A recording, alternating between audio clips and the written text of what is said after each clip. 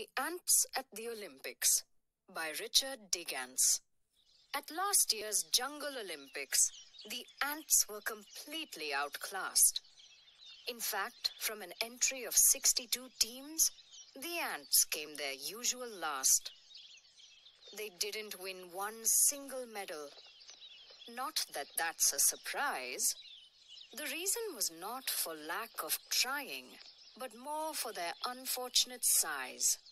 While the cheetahs won most of the sprinting and the hippos won putting the shot, the ants tried sprinting but couldn't, and tried to put but could not. It was sad for the ants, 'cause they're sloggers. They turn out for every event. With their shorts and bright orange t-shirts, their athletes are proud they are sent.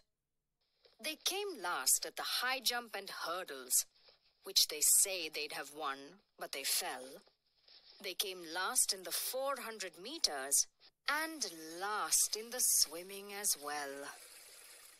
They came last in the long distance running, though they say they might have come first.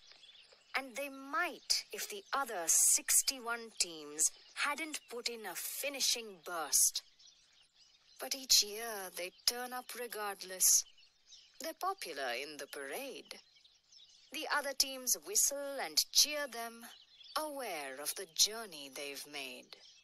For the Jungle Olympics in August, they have to set off New Year's Day. They didn't arrive the year before last. They set off but went the wrong way. So long as they try, there's a reason.